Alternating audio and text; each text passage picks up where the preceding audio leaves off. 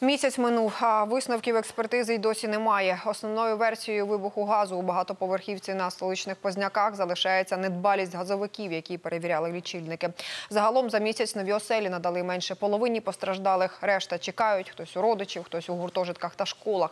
Про життя після вибуху розповість Ольга Читайло. У меня квартира осталась, виходить, последняя не пошкоджена. Вся вона зараз на подпорках стоїть. У моїх батьків є два мобільних телефони, термос із кавою і фляга з водою. Це дуже больно, коли тебе в 65 років оставляют без прошлого. Двічі на тиждень мешканці зруйнованого будинку на Позняках приходять під свій під'їзд. Для них тепер це місце спогадів. Пішла до сусідів, запитала на перший поверх, що там газом трохи воняє. Вони кажуть, відкрити вікно. Вона підійшла до вікна відкривати і її волною вирвала. Тетяна Жураленко розповідає про останні хвилини життя своєї тітки. Вибух стався саме у її квартирі. Зі зруйнованого житла рятувальники родичам винесли ці понищені фото. Їй було 76 років. Пані Людмила майже не користувалася газом, була дуже обережною. Якби хтось сказав, що вона то могла щось там не виключити, то, то неправда. За місяць остаточних висновків експертизи ще немає. Основна версія вибух газу через недбальство газовиків, які перевіряли лічильники. Газ накопичувався не один день. Люди кажуть, запах відчували у несподіваних місцях. Я не зрозуміла, що це газ. Він у мене йшов прямо десь із полу, е, із підлоги у, шк- у ящиках кухонних. Выбежал сразу же, сразу стал искать родителей. Ну, Маму нашел, а папу что-то привалило. Я пытался его разгребсти, но плиты ж не подымешь. Анатолій у цій трагедії втратив батька і з мамою дивом вибрався із руїн.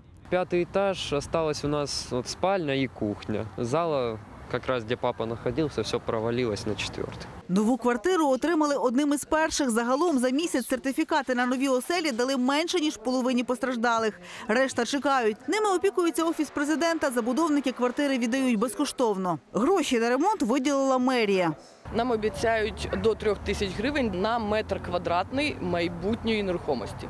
Тобто це буде е, матеріальна допомога на здійснення ремонту.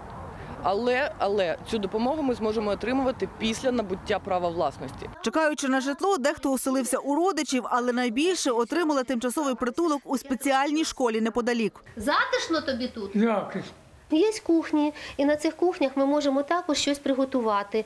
Для нас пральні машинки поставили. А от мешканці прилеглого п'ятого під'їзду та сусіднього будинку за свою безпеку хвилюються. Першим дозволили заїхати у квартири, але не вімкнули газ. Другі живуть з усіма комунікаціями, але ось з таким виглядом з пожежних балконів. Якщо до балкону, то, мабуть, метра півтора, а до будинку тут метрів, мабуть, два. У квартирах вибило вікно, покрутило плитку, стіни вкрилися тріщинами. Люди бояться тут жити і регулярно звертаються до чиновників. Звернення стосовно цього всього мешканцями нашого будинку відправлялись. Відповіді ну я саме не бачив. Офіційно для життя непридатний лише шостий під'їзд зруйнованого будинку, каже голова Дарницької РДА. Його розбиратимуть, щоправда, коли точно невідомо. Таку е, більш-менш реальну планку для зняття цієї проблеми ми ставимо для себе початок опалювального сезону. Ми сподіваємося, що це буде кілька місяців. Тим часом постраждалі вірять, що їх не залишать на призволяще. Ольга Читайло, Олександр Чесноков та Сергій Дикун. Факти ICTV.